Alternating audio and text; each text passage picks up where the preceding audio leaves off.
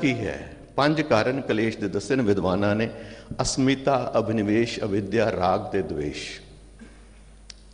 ਇਹਨੂੰ ਇਸ ਤਰ੍ਹਾਂ ਸਰਲ ਭਾਸ਼ਾ 'ਚ ਸੋਚੀਏ, ਹੰਕਾਰ ਝੂਠੀ ਵਸਤੂਆਂ ਵਿੱਚ, ਅਹੰਕਾਰ ਝੂਠ ਨੂੰ ਸੱਚ ਕਰਕੇ ਮੰਨਣਾ, ਮੌਤ ਦਾ ਡਰ, ਰਾਗ ਤੇ ਈਰਖਾ।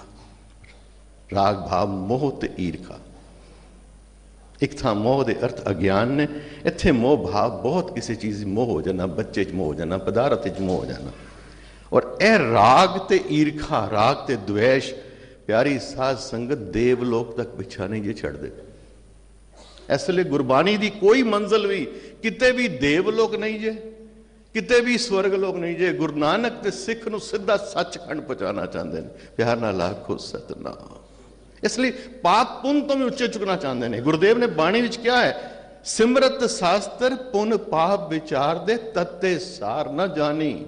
ਤੱਤੇ ਸਾਰ ਨਾ ਜਾਣੀ ਗੁਰੂ ਬਾਝੋਂ ਤੱਤੇ ਸਾਰ ਨਾ ਜਾਣੀ ਤਿਹ ਗੁਣੀ ਸੰਸਾਰ, ਪਰਮ ਸੁਤਾ ਸੁਤਿਆ ਰਹਿਨ ਬਿਹਾਨੀ ਇਤਨਾ ਗੁਨਾ ਵਿੱਚ ਅਸੀਂ ਭਟਕ ਰਹੇ ਹਾਂ, ਰਜਗੁਣ, ਤਮਗੁਣ, ਸਤਗੁਣ, ਇਹਦੇ ਵਿੱਚ ਭਟਕ ਰਹੇ ਤੇ ਗੁਰਦੇਵ ਨੇ ਸਪਸ਼ਟ ਕਿਹਾ ਐਸੇ ਸਹਿਜ ਦੀ ਗੱਲ ਕਰ ਰਹੇ ਸਨ ਬਾਣੀ ਕੀ ਦੱਸਦੀ ਹੈ ਸਹਿਜ ਬਾਰੇ? ਗੁਰਦੇਵ ਕਿਰਪਾ ਕਰਦੇ ਨੇ, ਤ੍ਰੈ ਗੁਣਾ ਮੇ ਸਹਿਜ ਨਾ ਮਿਲੇ।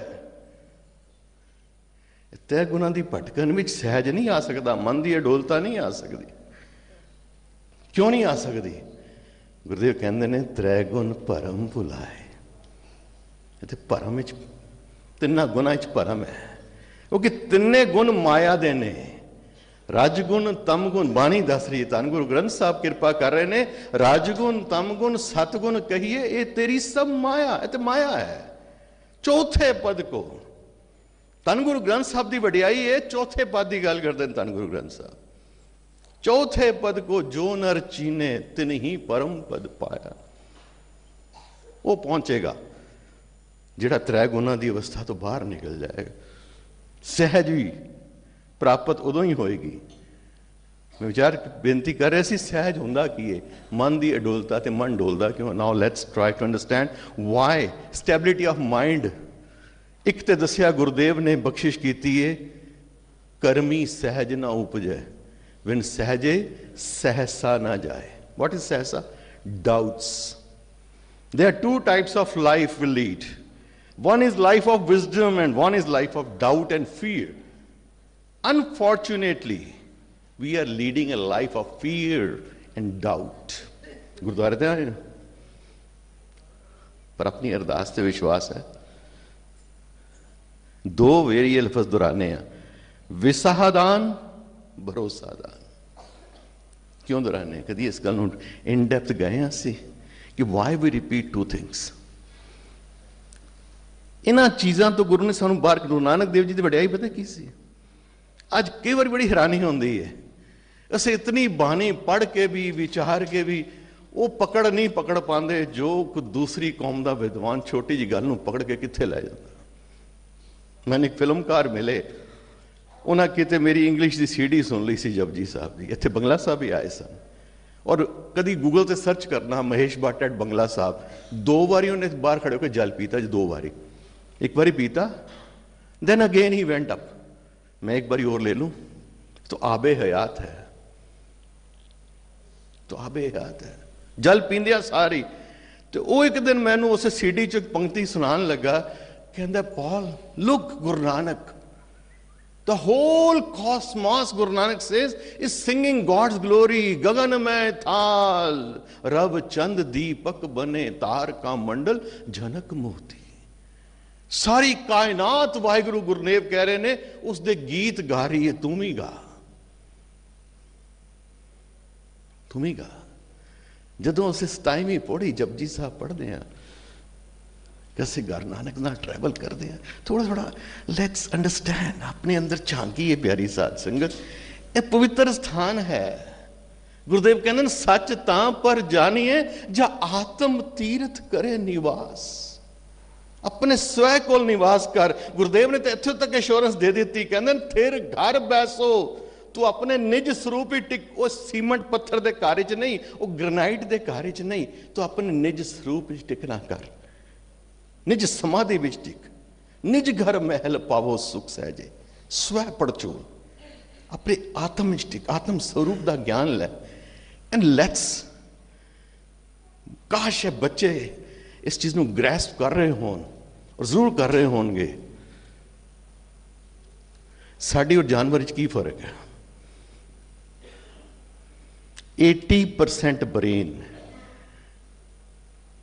ਇਸ ਵਾਰੀ ਦੇ ਅਕਤੂਬਰ ਮੰਥ ਦੇ ਰੀਡਰ ਡਾਈਜੈਸਟ ਦਾ title C brain 80% of our brain is same as like animal ਜਾਨਵਰ ਦੀ ਤਰ੍ਹਾਂ, ਜਾਨਵਰ ਦਾ ਔਰ ਸਾਡਾ ਦਿਮਾਗ 80% ਸੇਮ ਜੇ। ਵਾਟਸ that 20% ਡਿਫਰੈਂਸ ਅਗਰ ਬਰੀਫਲੀ ਸਮਝੀਏ ਤੇ ਸਾਡੇ ਵਜੂਦ ਦੇ ਤਿੰਨ ਅੰਗ ਨੇ three faculties of our existence, that is mind, body and soul ਮਨ ਆਤਮਾ ਤੇ ਸਰੀਰ ਹੁਣ ਅਸੀਂ ਸੋਚੀਏ ਇਹ ਤਿੰਨਾਂ ਵਿੱਚੋਂ ਅਸੀਂ ਕਿੰਨਾ ਕਿੰਨਾ ਟਾਈਮ ਇੱਕ ਇੱਕ ਚੀਜ਼ ਦੇ ਸਪੈਂਡ ਕਰਨੇ ਆਪਣੀ ਲਾਈਫ ਦਾ ਸਾਰਾ ਦਿਨ ਅਸੀਂ ਵਿਚਾਰ ਕਰੀਏ ਨਾ we are chasing the needs of our body ਕਿਸੇ ਵਿਅਕਤੀ ਨੂੰ ਪੁੱਛੋ ਕਹਿੰਦਾ ਵੀ ਜੀ ਦੁਕਾਨਦਾਰੀ ਕਰਨੀ ਰੋਟੀ ਦਾ ਮਸਲਾ ਹੈ ਠੀਕ ਹੈ ਉਦਮ ਤੋਂ ਮਨਾ ਨਹੀਂ ਕੀਤਾ ਮੇਰੇ ਗੁਰੂ ਨੇ ਸਿੱਖ ਨੂੰ ਤੇ ਬਣਾਇਆ ਹੀ ਐਂਟਰਪ੍ਰੀਨਿਓਰ ਹੈ ਧੰਨ ਗੁਰੂ ਰਾਮਦਾਸ ਪਾਤਸ਼ਾਹ ਨੇ ਸ੍ਰੀ ਅੰਮ੍ਰਿਤਸਰ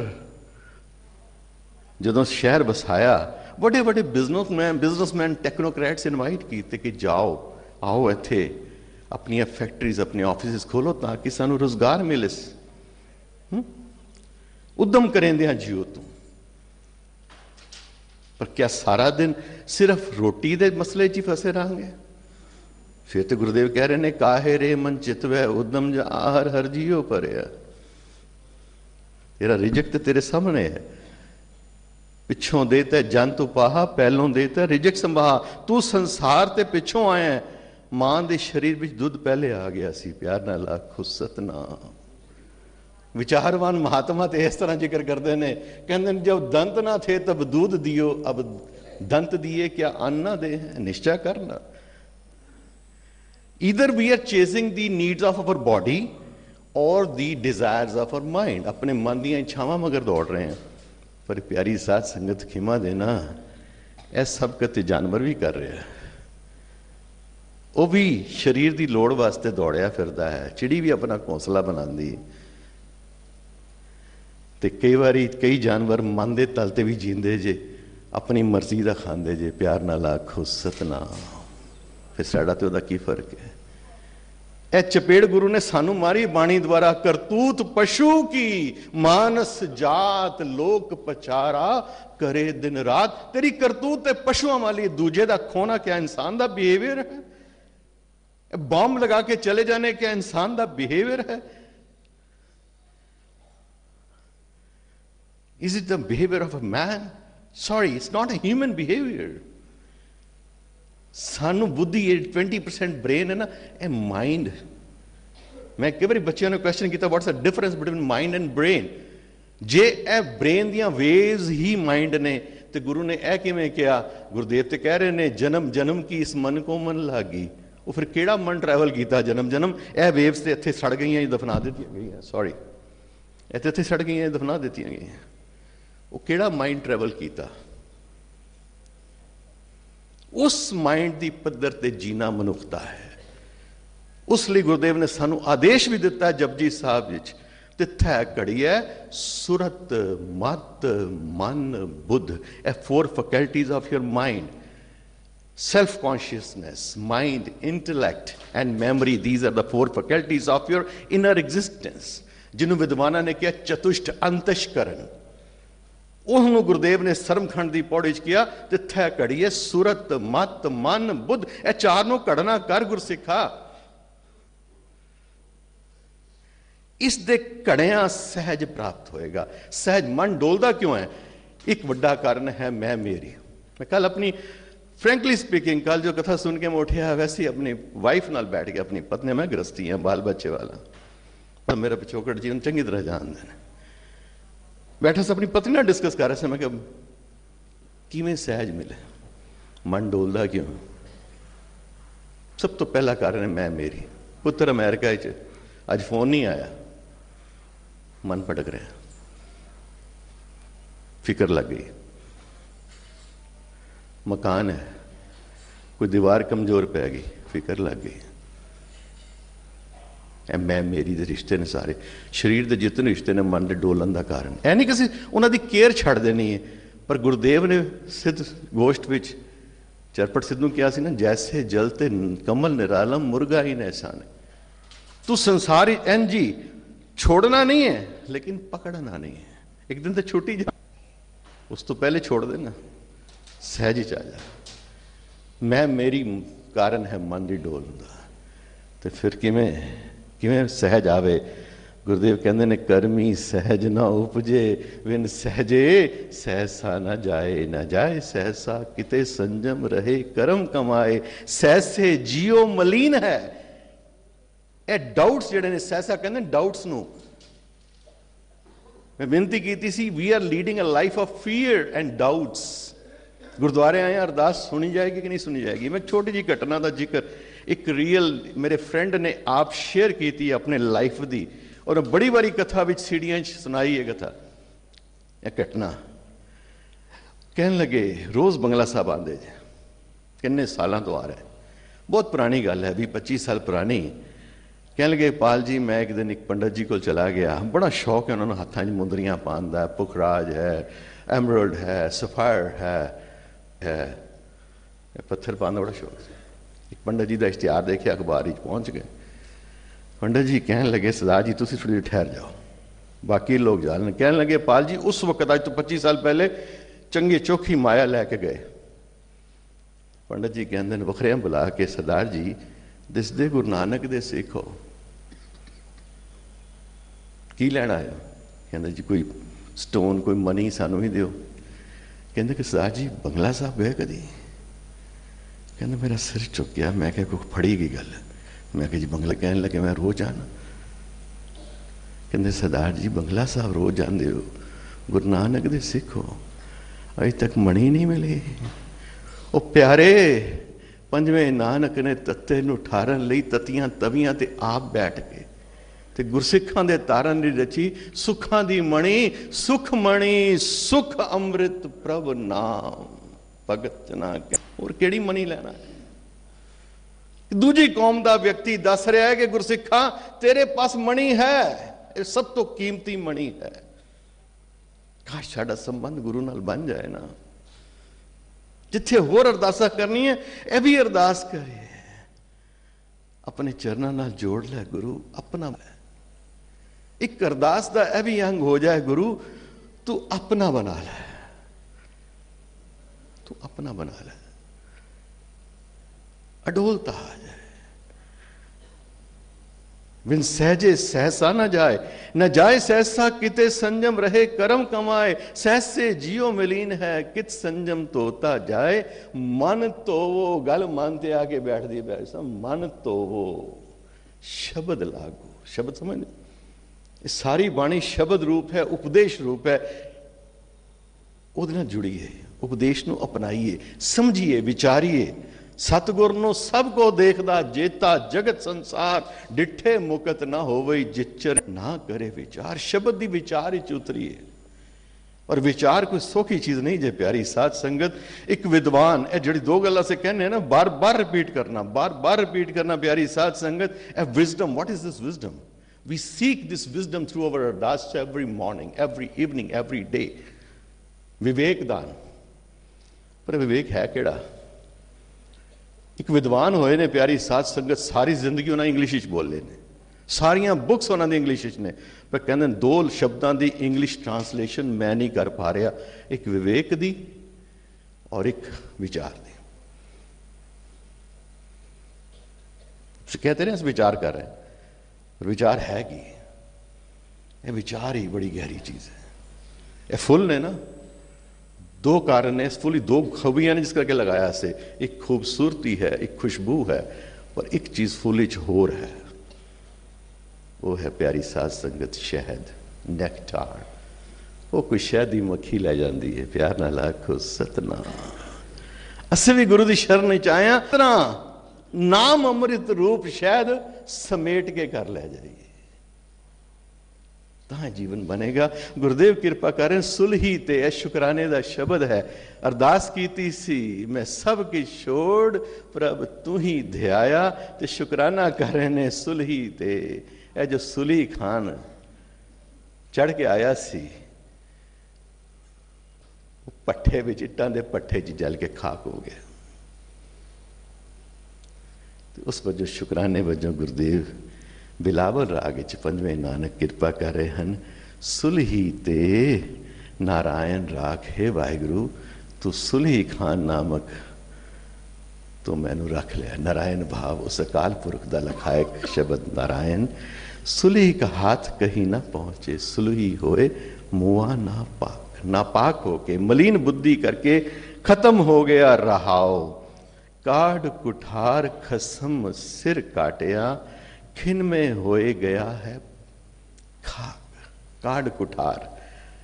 ਕੁਠਾਰ ਕਹਿੰਦੇ ਨੇ ਕੁਹਾੜੀ ਨੂੰ। ਪਰ ਇੱਥੇ ਕਿਹੜੀ ਕੁਹਾੜੀ? ਮੌਤ ਰੂਪੀ ਕੁਹਾੜਾ। ਪਰਮਾਤਮਾ ਨੇ ਸੁਲੀ ਖਾਨ ਨੂੰ ਮਿਟਾ ਦਿੱਤਾ, ਖਾਕ ਵਿੱਚ ਮਿਲਾ ਦਿੱਤਾ। ਕੀ ਕਾਰਨ ਬਣਿਆ ਮਲੀਨ ਬੁੱਧੀ? ਮਲੀਨ ਬੁੱਧੀ ਕਿਉਂ ਹੋਈ? ਮੰਦਾ ਚਿਤਵਤ ਚਿਤਵਤ ਪਚਿਆ। ਦੋ ਵਾਰੀ ਰਿਪੀਟ ਕੀਤਾ ਜਿਸ ਸ਼ਬਦ ਮੰਦਾ। ਚਿਤਵਤ ਸ਼ਬਦ। ਮੰਦਾ ਵਿਚਾਰਿਆ ਸੀ, ਇਸ ਲਈ ਗੁਰਦੇਵ ਬਾਣੀ ਚ ਕਹਿੰਦੇ ਨੇ ਪਰ ਬੁਰਾ ਨਾ ਰੱਖੋ ਚਿਤ। ਤੂੰ ਤੇ ਦੁਸ਼ਮਣ ਦਾ ਵੀ ਭਲਾ ਸੋਚਣਾ ਹੈ। ਫਰੀਦਾ ਬੁਰੇ ਦਾ ਭਲਾ ਕਰ। ਚੰਗੇ ਨਾਲ ਤੇ ਹਰ ਕੋਈ ਚੰਗਾ ਵਰਤਦਾ ਜੇ। ਗੁਰੂ ਨਾਨਕ ਦਾ ਸਿੱਖ ਕੈਸਾ ਹੋਵੇ? ਹਰ ਜਨ ਐਸਾ ਚਾਹੀਏ ਜੈਸਾ ਹਰ ਹੀ ਹੋਵੇ। ਬਾਬਾ ਕਬੀਰ ਸਾਹਿਬ ਨੇ ਬੜਾ ਸੋਹਣਾ ਡਿਫਾਈਨ ਕੀਤਾ ਸਿੱਖ ਦੀ ਪਰਿਭਾਸ਼ਾ। ਕਹਿੰਦੇ ਨੇ, ਕਬੀਰ ਰੋੜਾ ਹੋਏ ਰੋ ਬਾਟਕਾ, ਤਜ ਮਨ ਕਾ ਅਭਿਮਾਨ। ਇਹ ਕਬੀਰ, ਤੂੰ ਇਤਨਾ ਨਿਮਰਤਾ ਚ ਆ ਜਿਵੇਂ ਰਸਤੇ ਤੇ ਪਿਆ ਪੱਥਰ ਹੈ। ਕੋਈ ਠੋਕਰ ਮਾਰਦਾ ਹੈ, ਕੋਈ ਲਤਾੜ ਕੇ ਚਲਾ ਜਾਂਦਾ ਹੈ। ਉਹ ਕੁਝ ਨਹੀਂ ਕਹਿੰਦਾ। ਕਬੀਰ, ਰੋੜਾ ਹੋਏ ਰੋ ਬਾਟਕਾ, ਜਿਵੇਂ ਬਾਬਾ ਫਰੀਦ ਸਾਹਿਬ ਕਹਿੰਦੇ ਨਾ, ਫਰੀਦਾ ਥੀਓ ਪਵਾਹੀ ਦਬ ਜੇ, ਸਾਈਂ ਲੋੜੇ ਸਭ, ਇੱਕ ਛਿੱਜੇ ਬੀਆ ਲਤਾੜੀਏ, ਤਾਂ ਸਾਈਂ ਦੇ ਦਰਵਾੜੀਏ ਤੂੰ ਤੇ ਰਾਹ ਚੁਗੀ ਘਾ ਹੋ ਜਾ, ਕੋਈ ਲਤਾੜੇ, ਕੋਈ ਕੁਝ ਕਰ ਜਾਏ, ਇਤਨੀ ਨਿਮਰਤਾ ਤੇਰੇ ਅੰਦਰ ਆ ਜਾਏ, ਤਾਂ ਪਰਮਾਤਮਾ ਦੇ ਘਰ ਦਾ ਰਸਤਾ ਮਿਲੇਗਾ। ਫਰੀਦ ਕਬੀਰ, ਰੋੜਾ ਹੋਏ ਰੋ, ਬਾਟ ਬਾਟਕਾ ਤਜ ਮਨ ਕਾ ਅਭਿਮਾਨ, ਐਸਾ ਕੋਈ ਦਾਸ ਹੋਏ, ਤਾਂ ਹੀ ਮਿਲੇ ਭਗਵਾਨ।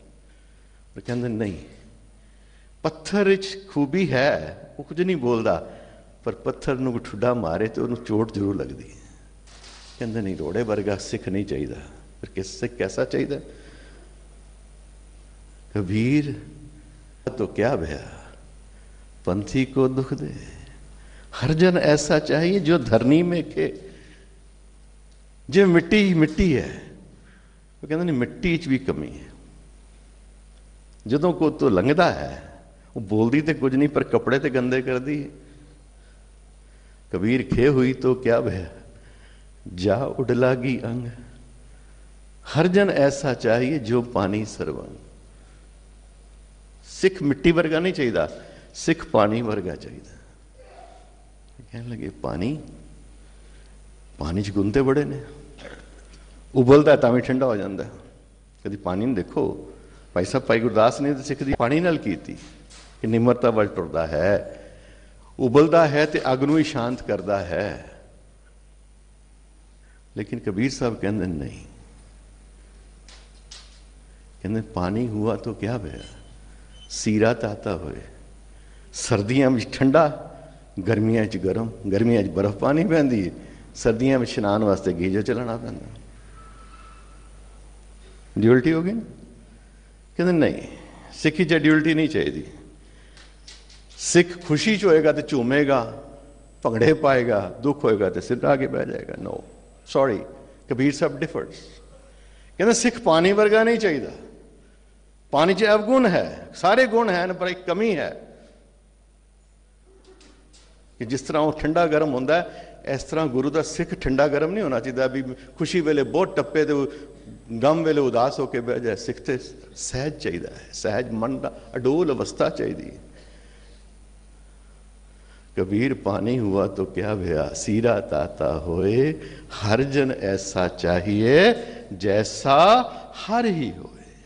जिस तरह परमेश्वर आप है, जैसा गुरु आप है, पूछिए गुरु नु, गुरु तू कैसा है?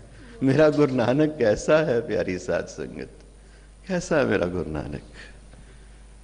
कभी विचारी ऐसा त्योहार रोज पढ़ते हैं। बिरती लै चलो ना। Few steps. Let's take few steps with guru nanak. Hold his hands. Come on, hold his hand. Guru Nanak ਦੀ ਬਾਹ ਪਕੜੋ ਤੁਰੋ ਗੁਰੂ ਨਾਨਕ ਇਹ ਬਾਣੀ ਪੜ੍ਹਨੀ ਗੁਰੂ ਨਾਨਕ ਦੀ ਬਾਹ ਪਕੜਨੀ ਹੈ ਪਿਆਰੀ ਸਾਧ ਸੰਗਤ hold his hands walk few steps ਸੰਤ ਇਨਸਾਨ ਦੇ ਦੁੱਖ ਨਜ਼ਰ ਨਹੀਂ ਆਉਂਦੇ ਪਿਆਰੀ ਸਾਧ ਸੰਗਤ ਨਜ਼ਰ ਨਹੀਂ ਆਂਦਾ ਮੇਰਾ ਗੁਰੂ ਨਾਨਕ ਤੇ ਕਹਿੰਦਾ ਵਾਹਿਗੁਰੂ ਕੈਸੀ ਅਸਚਰਜ ਹੈ ਤੇਰੀ ਸ੍ਰਿਸ਼ਟੀ ਸਾਨੂੰ ਤੇ ਸਰਦੀਆਂ 'ਚ ਸਵੈਟਰ ਚਾਹੀਦੇ ਨੇ। ਗਰਮੀਆਂ 'ਚ ਏਸੀ ਚਾਹੀਦਾ ਹੈ कैसा विस्माद है you know at times I share ਅਸੀਂ ਦੋ ਚੀਜ਼ਾਂ ਗਵਾਈਆਂ ਜੋ ਗੁਰੂ ਨਾਨਕ ਨੇ ਨਹੀਂ ਗਵਾਈਆਂ ਅਸੀਂ ਗੁਰੂ ਨਾਨਕ ਕੋਲ ਲੈ ਨਹੀਂ ਸਕੇ ਇੱਕ ਇਨੋਸੈਂਸ ਇੱਕ ਨਿਮਰਤਾ ਸਾਨੂੰ ਵਿਦਿਆ ਦਾ ਵੀ ਹੰਕਾਰ ਇਸੇ ਬਹੁਤ ਪੜ ਗਏ ਮੈਨੂੰ ਬਹੁਤ ਨੌਲੇਜ ਹੈ ਬਹੁਤ ਨੌਲੇਜ ਹੈ। ਤਾਂ ਹੀ ਅਸੀਂ ਵਿਵੇਕ ਨਾਲ ਜੁੜ ਨਹੀਂ ਪਾ ਰਹੇ ਕਿ what is Vivek? What is wisdom what is the life of wisdom Guru Nanak ਨਹੀਂ ਛੋੜਿਆ ਇਨ ਸੈਂਸ ਕਹਿੰਦੇ ਨੇ, ਵਿਸਮਾਦ ਨਾਗੇ ਫਿਰੇ ਜੰਤ। ਇਹ ਵਾਹਿਗੁਰੂ, ਕੈਸਾ ਵਿਸਮਾਦ? ਯੂ نو ਐਕਸਟੈਸੀ ਇੱਕ ਵੰਡ ਵਿਸਮਾਦ, ਪੂਰੀ ਪੌੜੀ ਵਿਸਮਾਦ ਦੀ ਆਸਾ ਦੀ ਬਾਤ ਕਹਿੰਦੇ ਨੇ, ਵਾਹਿਗੁਰੂ, ਤੇਰੀ ਸ੍ਰਿਸ਼ਟੀ 'ਚ ਕਿਤਨੇ ਜੀਵ ਬਿਨਾ ਕੱਪੜਿਆਂ ਦੇ ਤੁਰੇ ਫਿਰਨੇ ਨੇ? ਕਿਤਨੀ ਇਨੋਸੈਂਸ ਹੈ। ਅਸੀਂ ਜਸਟਿਸ ਨਹੀਂ ਕਰਦੇ, ਪਿਆਰੀ ਸਾਧ ਸੰਗਤ। ਮੈਂ ਹੁਣੇ ਬੇਨਤੀ ਕੀਤੀ ਏ, ਆਓ ਖਾਂ ਜ਼ਰਾ ਥੋੜਾ ਦੁਹਰਾਓ ਦੋ ਚਾਰ ਗੁਰੂ ਨਾਨਕ ਦੀ ਉਚਾਰਨ ਕੀਤੀ, ਜਪਜੀ ਸਾਹਿਬ ਦੀ 27ਵੀਂ ਪੌੜੀ। ਕਿਤਨੀ ਇਨੋਸੈਂਸ ਔਰ ਕਿਤਨੀ ਸਟੇਟ ਆਫ ਐਕਸਟੈਸੀ ਇੱਕ ਵਿਸਮਾਦ ਗੁਰੂ ਨਾਨਕ ਅਨੁਭਵ ਕਰ ਰਹੇ ਨੇ।